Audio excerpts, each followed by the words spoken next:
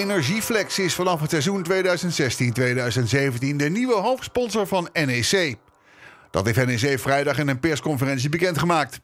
Na vier jaar scholt de Aanwater prijkt vanaf dit seizoen de energiemaatschappij op het shirt van de Nijmegenaren. Wij zijn erg trots en blij uh, dat wij mogen aankondigen dat Energieflex voor twee jaar hoofdsponsor is van NEC Nijmegen.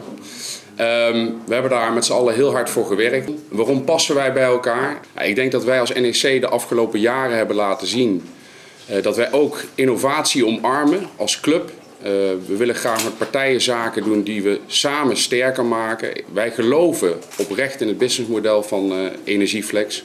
En zij geloven ook in NEC Nijmegen. Ja, wij zien stad Nijmegen als een prima locatie om onze landelijke ambities te realiseren.